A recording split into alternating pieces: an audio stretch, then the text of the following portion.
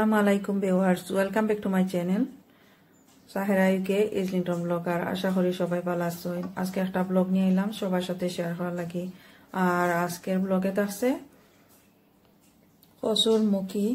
এই যে দেখতে পারা এগুলা কীভাবে আমি টবের মাঝে লাগাইব আর আগের ব্লগের মাঝে আমি দেখাইছি, এই যে গাছ উঠাইছি আর এই জোর দিছে কীভাবে আমি এটা ঘরের মাঝে সরিয়ে আনিছি। আমার আগের ব্লগে দেখতে পারবা। অলরেডি আমার চ্যানেলে দেয়া আছে। আপনারা চাইলে দেখিয়ে নিতে পারবা।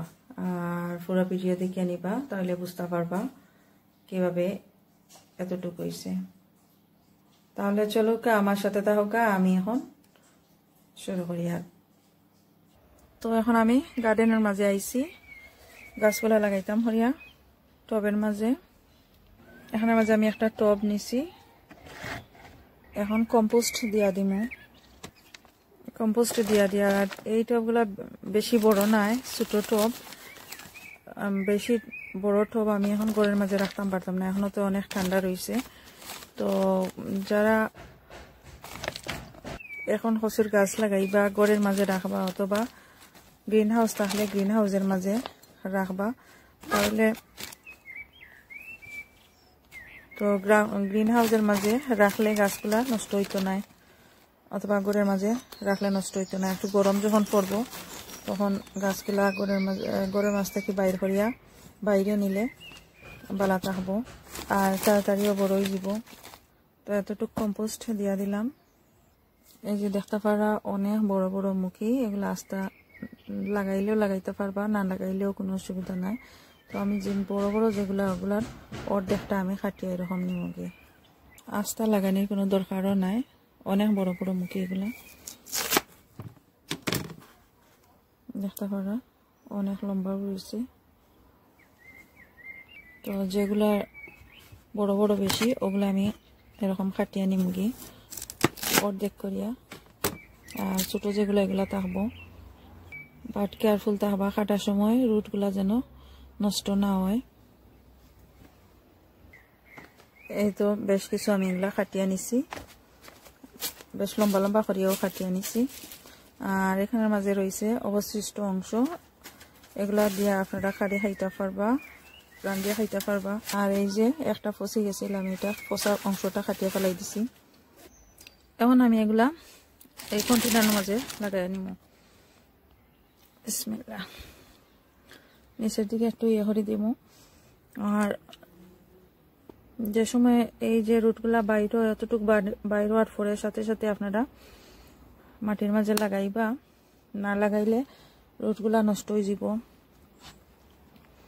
আমি এরকম করিয়া রাখি আর। গরম যে সময় আইব ওই সময় আমি আরও বড় কন্টেনারের মাঝে রাখব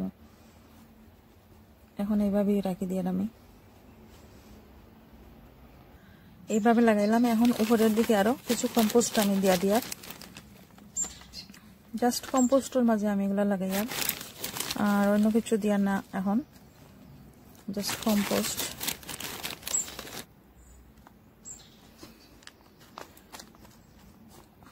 এইভাবে দিয়া রুটগুলা যাতে মাটির নিচে থাকে কম্পোস্টর নিচে থাকে। আর দেশটা ইয়ে করে দিয়ার কারণ রুট বাইরে যদি থাকে রুট নষ্ট হয়ে যাব। তো কম্পোস্টর নিচে থাকতে হইব রুটগুলা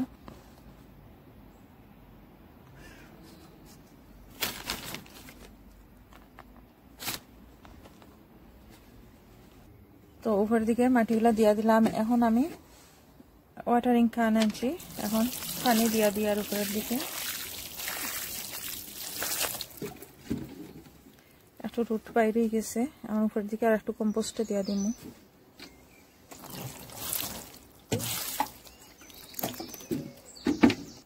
তো বাকিগুলো আমি এইভাবে লাগাইয়া নিব তো এখানে আনলাম আর একটা চপ, অনেক লম্বা একটা আনছি কারণ বেশ কিছু মুখি রয়ে গেছে, এখন লাগাইয়া নিব আর এই মুখিগুলো আমি আস্তাও লাগাইলি আর বেশি বড় যেগুলো ওগুলারে আমি কাটিছি আর এই সাইজের যে মুখি, এগুলো আমি আস্তাও লাগাইলি আর। এইভাবে। তো এই টবের মাঝেও বেশ কিছু মুখি লাগাইলাম। আর ঘরের মাঝে আরও বেশ কিছু রয়ে গেছে। ওগুলো উপরের লাগাই নিম এখন উপরের দিকে এগুলার কম্পোস্ট দিয়া দিয়ার তো কম্পোস্ট দেওয়া শেষ হয়ে গেছে। এখন আমি পানি দিয়া দিয়া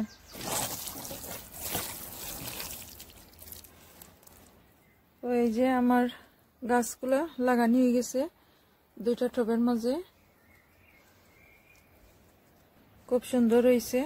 আর এখন গড়ের মাঝে রাখি দিমুনিয়া আর একটু পরে পানিগুলা পুরাপুরি জড়িয়া যাওয়ার পরে পানি দিছি, নিচের দিকে একটু জড়িয়া পরে, পুরাপুরি জড়ার পরে গড়ের মাঝে রাখি দিমু। অথবা গ্রিন হাউস থাকলেও রাখি দিবা নিয়া। এই টবগুলা আমি গড়ের ভিতরে রাখছিলাম। আর এখনও ঘরের ভিতরে আছে। তো তিন সপ্তাহ পরে দেখাই আর থ্রি উইকস পরে দেখাই আর আমার মুখি যে রাখছিলাম কন্টেনারের মাঝে লাগাইছিলাম, ওগুলা থেকে গাছ কত বড় হয়েছে মাশাল্লাহ অনেকটা বড় হয়ে গেছে। দেখতে পারা। পাতা খুব সুন্দর ইয়া বাইর হয়েছে আর কিছু এখনও বাইরর এই টবের মাঝেও বেশ কিছু মুখি লাগাইছিলাম। তো গাছ উঠিছে, খুব সুন্দর ইয়া। আর বড় টবের মাঝে লাগাইছি না। মে মাসের সেকেন্ড উইকে দ্বিতীয় সপ্তাহে আমি বাইরে বার করব এখন অনেক ঠান্ডা বাইরে। তো দ্বিতীয় সপ্তাহে, মে মাসের দ্বিতীয় সপ্তাহে অনেকটা গরম থাকব, এই সময় বাইরে বার করব আর বড় টবের মাঝে লাগাইমু। এখন বড় টবের মাঝে লাগাইছি না, কারণ ঘরের ভিতরে অতটা স্পেস নাই। যে বড় টব রাখতাম, তো আমি ছোটো টবের মাঝে বেশ কিছু মুখি লাগাইয়া রাখছি। আর এখানের মাঝে চারা হয়েছে এই চারাগুলো আমি বড় টপের মাঝে লাগাইমু। আর লাগানির পরে বাইরে রাখমু নিয়া। আর এই কচুর মুখি থাকে কীভাবে শিকড় গজায়? আমার একটা ভিডিও আছে, যারা নতুন শিখরা জানতে চাইরা, আপনারা যদি দেখতে চান, তাহলে আমার চ্যানেলে one hundred forty five episode part ওয়ানও আপনারা দেখতে পারবা খুব ইজি একটা পদ্ধতি আমি খুব ইজি পদ্ধতিতে আমি কীভাবে করছি। তো পার্ট ওয়ান পুরো ভিডিও দেখলে আপনারা বুঝতে পারবা খুব সহজে কীভাবে কচুর মুখি থেকে শিকড় গজায়, রুট বাইরয় আর যদি ভালো লাগে আমার এই ভিডিও প্লিজ সাবস্ক্রাইব করিয়ে নিবা। আর যারা অলরেডি সাবস্ক্রাইব করছেন, অসংখ্য অসংখ্য ধন্যবাদ সবাইদের সাথে থাকার লাগে। লাইক দিবা শেয়ার করবা। তাহলে আজকে এই পর্যন্তই। আবারও কোনো নতুন ব্লগ নিয়ে আইমু। সবার সাথে শেয়ার করার লাগি। ভালো থাকা আল্লাহ হাফেজ।